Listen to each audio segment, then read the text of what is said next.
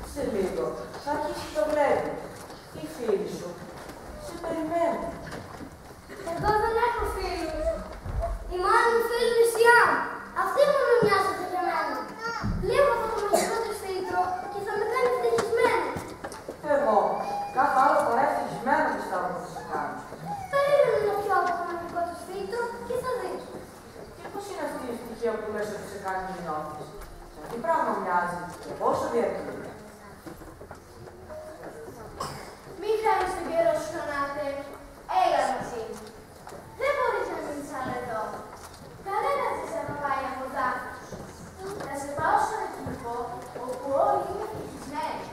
Ασφαλώς και σε αγαπάμε όλοι. Όσο για τον κύριο μας. Και στο δικό μας είμαστε ευτυχισμένοι. Όχι πάντα βέβαια, όχι όλες τις μέρες, αλλά πολύ συχνά. Έλα, Χανάτε, μην τον ακούς. Στον κήπο που σου λέω, θα μπορείς να είσαι ό,τι θες. Αν μείνεις εδώ, θα μπορείς να είσαι ο εαυτός σου. Ο αληθινός εαυτός σου. Και όχι κάποιος ψεύτικος. Στον κήπο μου θα ξεχάσεις όλα σου τα προβλήματα. Αν μείνεις εδώ, θα μάθεις να αντιμετωπίσεις τα προβλήματά σου και να ξεπερνάς τους φόβους σου με τη βοήθεια των άλλων, της οικογένειας σου, των φίλων σου. Στον κήπο της Ιάμ θα ξεχάσεις τα προβλήματά σου, μόνο και μόνο, επειδή θα είσαι εξαρτημένος και άρρωστος. Θυμήσου ότι παραλίγο να σου στέλνεις ό,τι πιο πολύ που μας έδωσε ο Θεός, τη ζωή σου και το σώμα της, χάρη στην έγκαιρη αντίδραση των φίλων σου. Φίλων, που η Σιάμ δεν έχει ούτε ένας σκοτεινό. Οι δικοί σου φίλοι είναι εδώ για να σε αγκαλιάσουν και να πολεμήσουν μαζί σου το δύσκολο δρόμο της ζωής. Για του καλά και να Δεν μπορώ να σε κρατήσω με το χώρο. Η απόφαση είναι δική σου. Τι να κάνω, ποιον κήπο να διαλέξω;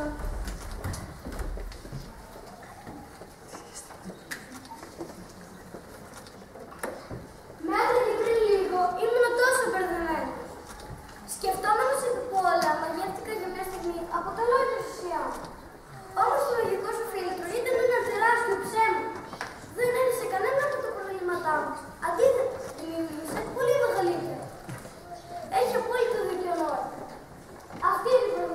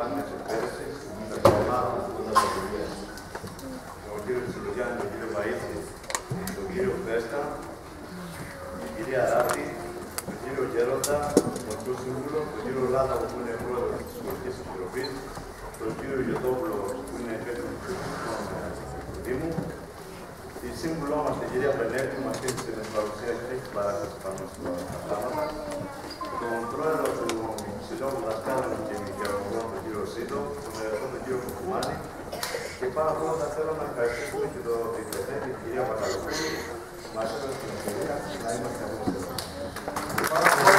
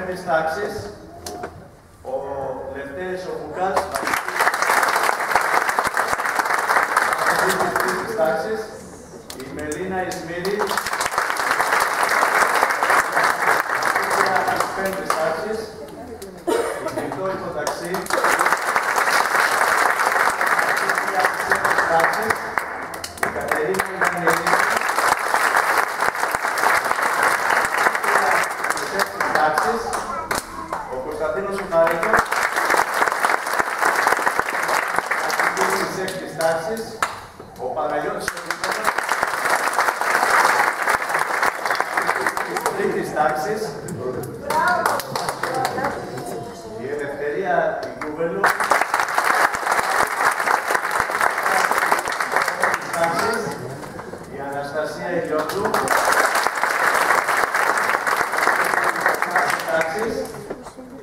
Η Μαρία